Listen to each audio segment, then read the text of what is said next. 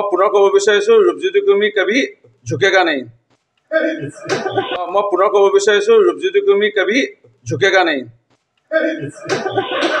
সেয়া মই এইটো কাৰণে নাজানো কাৰণ আধাখিলা মই কোৱাটো কৰিলোঁ এতিয়া এতিয়া নতুন যি আহিব পৌৰসভা সেই পৌৰসভা তেওঁলোকে সেইবোৰ কাম কৰিব বিচাৰে বা নিবিচাৰে সেইকাৰণে ইয়াত কোনোবাই আকৌ এই যিসকলক পৰিচালনা দি আছে তেওঁলোকে তেওঁলোকে তেওঁলোকে কৈছে যে অহাবাৰ বিধায়ক মই হ'ম বা আমুক হ'ব তামুক হ'ব বুলি কৈ আছে। কিন্তু ৰূপজ্যোতি কুৰ্মীয়ে এই উপ নিৰ্বাচনতে কৈছিলে যে জ্যোতিষীয়ে মোক আঙুঠি দিলেই আৰু মই সত্তৰ বছৰলৈকে জীয়াই থাকিম। আৰু সত্তৰ বছৰলৈকে মই কোনো মোক হৰুৱাব নোৱাৰে।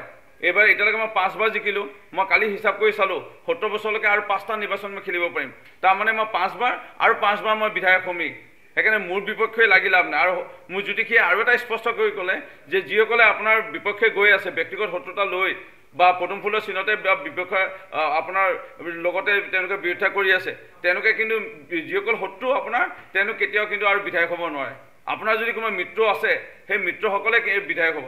আৰু এটা সংবাদ মাধ্যম মাধ্যমৰ যোগেদি মইনীবাসী ৰাইজক আৰু এটা দুখৰ বাৰ্তা দিওঁ যে এতিয়াৰ পৰা আৰু মইনী সমষ্টি নাথাকে।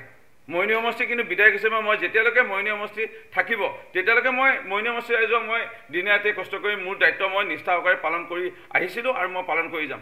কিন্তু অহা নিৰ্বাচন মইনী সমষ্টি বুলি পেলাই ইয়াত নিৰ্বাচন নহয়।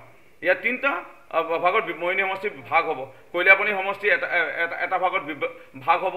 এটা সমষ্টি দক্ষিণ যোৰহাট বুলি পেলাই এটা সম এটা এটা ভাগ হ'ব তিতাবৰ বিধানসভা সমষ্টি বুলি। কিন্তু মৰিনী নগৰখন য'ত থাকিব মই কিন্তু তাতেই প্ৰতিনিধিত্ব কৰিম। মই তাতে প্ৰতিনিধিত্ব কৰিম বা মই মুঠতে মৰিনী নগৰৰ পৰা আঁতৰি নাযাওঁ। সেইকাৰণে মোৰ শত্ৰুসকলৰ কাৰণে এইটো এটা দুখৰ বাৰ্তা। আপোনালোকে যিমান পাৰ্টি খাই আছিল আপোনালোকে আলোচনা কৰি আছিল যে ৰূপজ্যোতি কুৰ্মী শেষ ৰূপজ্যোতি কুৰ্মী সদায় সদায় এনেকৈ ওলায় ৰূপজ্যোতি কুৰ্মী শেষ ৰূপজ্যোতি কুৰ্মী আকৌ জীয়াই ৰূপজ্যোতি কুৰ্মী আছে আৰু থাকিব। সেইকাৰণে আপোনালোকৰ যিবোৰ সপোন পূৰ হ'বলৈ ৰূপজ্যোতি কুৰ্মীয়ে কেতিয়াও নিদিয়ে। কাৰণ বিষ্ণু ভগৱানৰ যি আৰ্হিত ৰূপজ্যোতি কুৰ্মী চলে দুষ্টক দমন শান্তক পালন। সেইকাৰণে দুষ্টক দমন নীতিৰে শান্তক পালন নীতিৰে ৰূপজ্যোতি কুৰ্মী চলি গৈ থাকিব। সেইকাৰণে মই পুনৰ ক'ব বিচাৰিছোঁ ৰূপজ্যোতি কুৰ্মী কবি ঝুকেগা নেই।